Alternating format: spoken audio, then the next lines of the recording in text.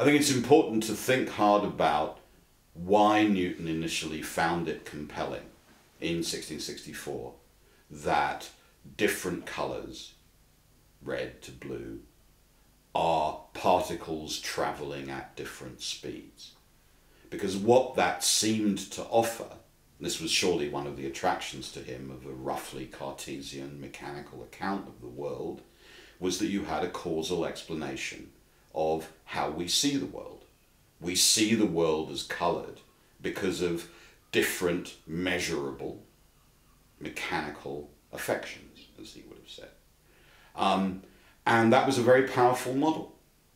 For example, it allowed first Descartes, then Newton, to explain why different bodies appear to have different colours. Newton spends quite a lot of time in his undergraduate notebook writing more and more about the pores of the surfaces of bodies, the holes in the surfaces of bodies, whose uh, disposition reflects light in different ways. So particles, perhaps of different sizes, perhaps of different shapes, certainly of different speeds, will give us the impression of different colours. And that kind of mechanical reduction is very appealing and extremely compelling for Newton. It doesn't sit too well with the account that he provides in his notebooks from the 16 from 1665 1666 onwards where we don't get very much discussion of the speed at which light particles are moving or the shape and textures of bodies. That's not his concern.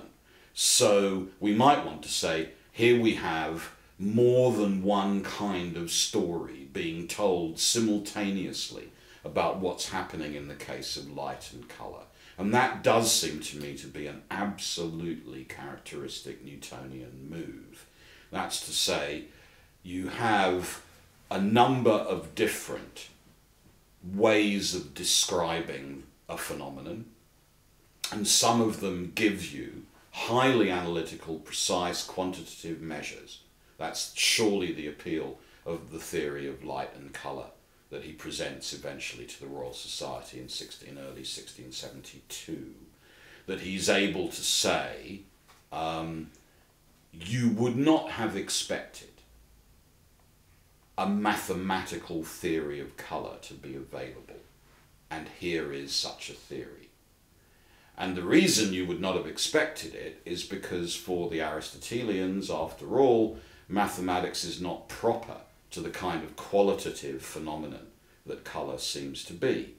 Um, so Newton is constantly pressing on the boundaries of the mathematical sciences and the scope of mechanics and mathematical mechanics in particular to show that it's capable of unfolding phenomena you would not have expected it to be able to unfold. He's relatively relaxed when he does this about spelling out what the underlying material reality must be.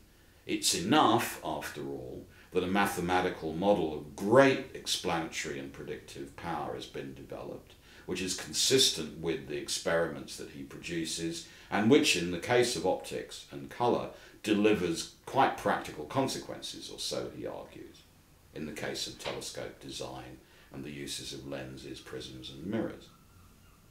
Now you can see that in the Principia 20 years later as well.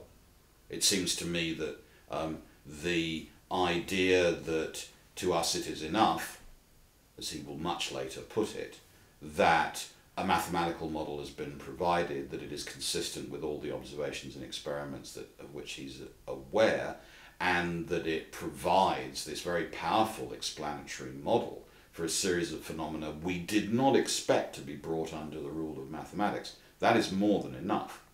Um, and he's capable of working with a series of not exactly contradictory, but certainly quite different stories about underlying structure, almost at the same time. Is that unique to Newton? No, it's not. You can see very similar maneuvers in Descartes too. So Descartes' model of vision and light, as many commentators have pointed out, is made up of a series of apparently contradictory stories about the way in which light moves. I mean, for Descartes, for example, it's absolutely fundamental that light moves infinitely fast, yet he's also capable of explaining refraction on the basis of the different speeds at which light particles move. So it's not a apparently a deeply troubling problem in 17th century natural philosophy to use more than one story about light or matter or color or chemical phenomena at the same time. Um, explanatory power in that sense is very important.